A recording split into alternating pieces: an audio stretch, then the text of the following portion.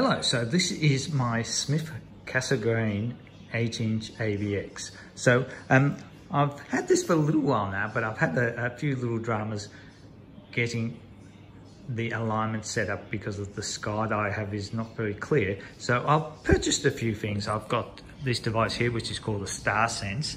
This allows me to scan the sky using the computers built in and then this should automatically set up the scope. But we're still learning that. And I also have a little dongle here. This allows me to connect the um, telescope to the Celestron app and control it via the Wi-Fi.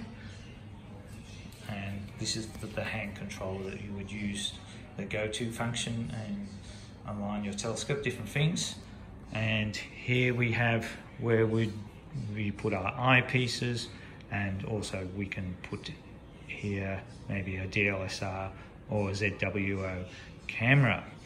At the moment I've got the optical finder but I'm considering to get the Telrad and here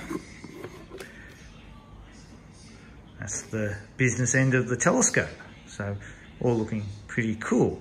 So, but at the moment I'm still learning. There is a, a lot to learn about using this particular telescope and also if you want to do astrophotography, it takes uh, a lot of study and it's quite a steep learning curve.